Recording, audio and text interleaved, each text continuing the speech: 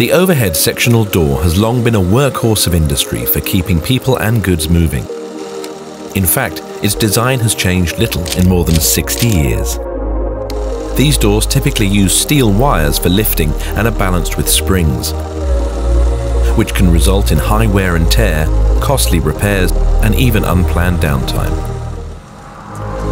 After 60 years, it's time to open new doors. Introducing the ASSA ABLOY OH1142P Dual Drive, a revolution in overhead sectional doors to open up a new era of opportunities for your business. Designed for docking applications, the ASSA ABLOY OH1142P runs on our innovative new dual drive technology. With state-of-the-art dual drive motors that eliminate the need for any springs, wires or balancing systems. These dual drive motors are integrated into the door, while chains are fixed in each track set to form a completely new lifting mechanism. Meaning the dual drive simply runs faster, smoother, and more reliably than standard overhead sectional doors. Helping you optimize your operations, reduce your costs, and improve your working conditions.